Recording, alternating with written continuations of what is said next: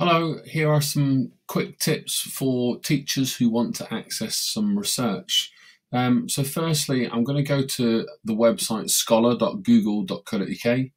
Um, really simple. I've also downloaded, if you look up here, um, the widget into my browser. So I'm using Google Scholar, sorry, uh, Google Chrome. Um, if I just pop back to my website, just reload it here. Um, if I go to um, any keyword. So uh, I'm just going to click on any article here. So I've got an article here on um, physical activity in schools. Um, if I choose a keyword here, so I've got behavior for learning, if I highlight that there and press that little widget, it gives me three or four links immediately uh, to academic research. Now I can expand that, open all those things. That's a kind of quick win.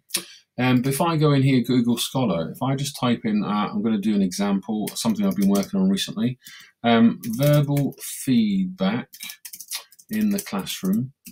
Now, if I just press respond, you'll see here I have um, 388,000 articles now, nothing specific. I'm just going to look for the last year, 2019. Now I've got 11,000 or 12,000. Um, I'm just going to put in brackets, uh, sorry, in quotations, England.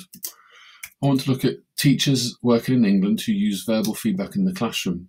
Now that's already narrowed down to 380, 3,860. Um, let's just pretend I am an English teacher. So I'll just add that again uh, more. Um, in fact, I want to be very specific. English teaching. Um, now I've gone down to 613. I might want to look at live marking techniques. Let's see what uh, that responds back. So nothing. So there's potential there for me to contribute if I want to do some action research in school. Um, I'm just going to go back and um, let's let's think about teaching Macbeth. So verbal techniques in the classroom to reduce teacher workload uh, of teachers working in England, teaching English lessons, particularly teaching Macbeth. Um, I've got 12 results.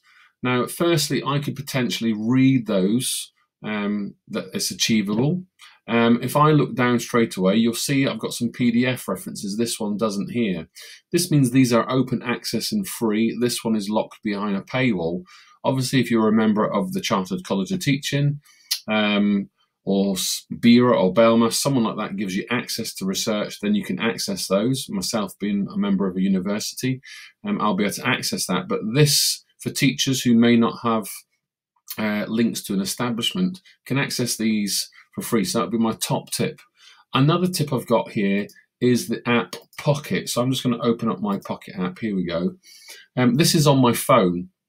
Uh, let me just see if I can log in here. Should I plan that beforehand. But um, this will link into my phone. So an email, um, an article, something I'd like to read. It downloads the data if I go underground on the London Underground on the tube, um, I can access all the information.